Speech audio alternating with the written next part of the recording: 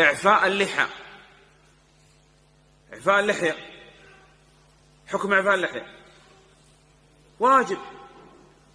يا أخواننا مضرة الحلق الحلق كبيرة من كبائر الذنوب. مخالفة لأمر النبي صلى الله عليه وسلم. مشابهة للنساء. مشابهة للمشركين. تغيير لخلق الله. نعم هذا الحلق